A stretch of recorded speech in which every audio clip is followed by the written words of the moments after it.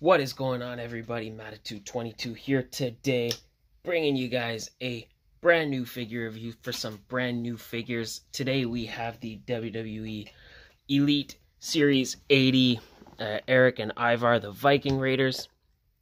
Uh, really, really excited. I just got these guys in this morning.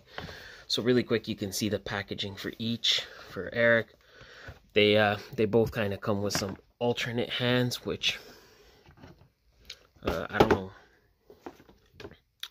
what the difference is with the hands. Well, I guess uh, they come with two kind of rocking out hands and two kind of grabbing hands. So you can kind of see that's what's left in the box. Nice shot of Erik right there on the side. Let me just kind of back up for you guys a little bit. There is the rest of the wave. I also got Bayley and Kevin Owens. Some statistics. There you go, and that is it for him. And then uh, kind of the same deal with Ivar.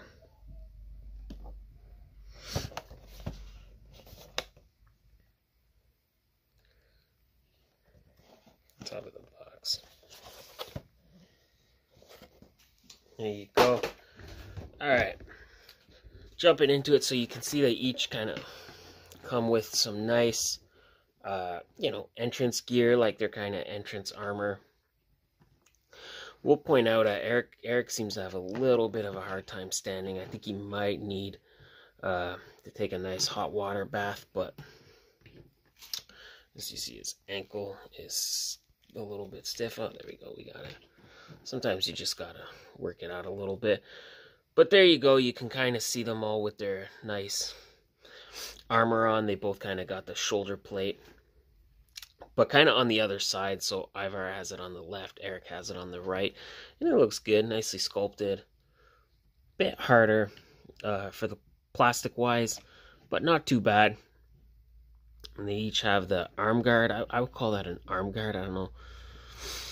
I don't know what you all what y'all would call it, but or like a sleeve, kind of like a sleeve or like a glove. And then he has his belt. You can see the belt very nicely detailed. Like that a lot. And of course the helmet, which has the big white hair going back and that's sculpted really nice. I think they did a good job on that.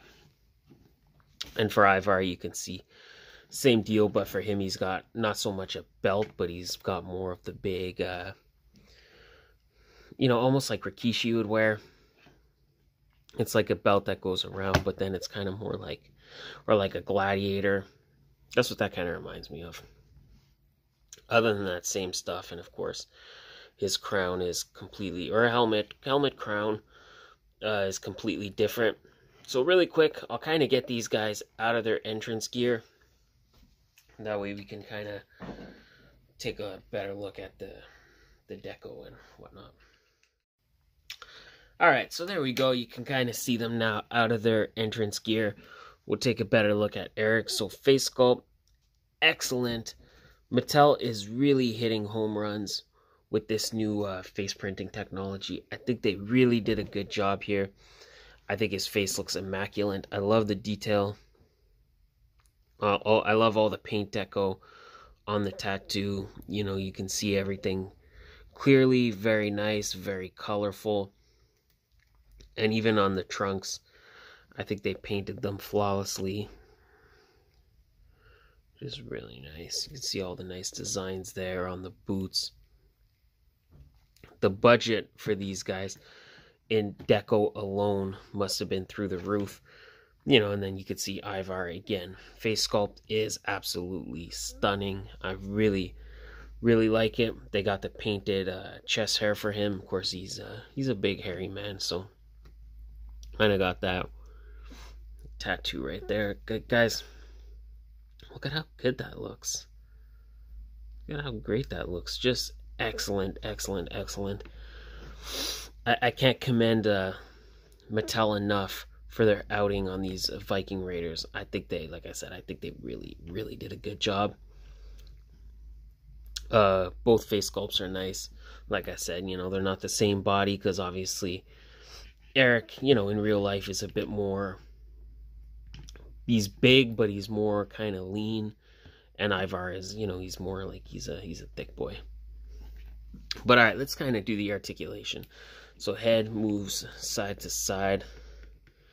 Get the forward and back. Now the arms are a little bit stiff, but you can kind of work them out. He has a bicep swivel. Single jointed elbow, that's maybe my biggest complaint is that we're still kind of working with the single jointed elbow, but it's not as bad on these guys because you know you don't imagine they're doing all kinds of crazy dynamic posing. He does have the jo- double jointed knee, but I think part of it gets lost because of the knee pad. But you know what? It's there. You can clearly see the double jointed knee, so it's it's it's there. At least we know it's there. A waist twist, and he's got the ankle pivot and ankle rocker. And of course, he has the boot swivel. So very uh, nicely articulated, minus minus the single jointed elbows. Mattel's really got to kind of step it up and get with the times. You know, I mean, I, I always kind of said their WWE license is kind of the best Mattel figures, but look what happened with DC. You know, so Mattel, step it up, man. We need those double jointed elbows uh, for sure.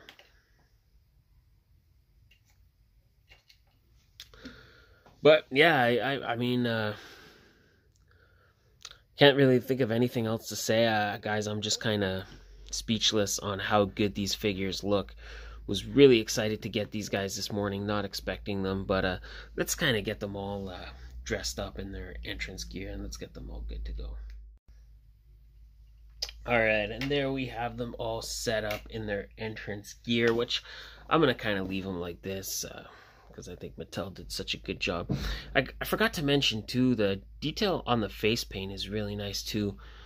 Uh, just yeah, really solid paint work overall.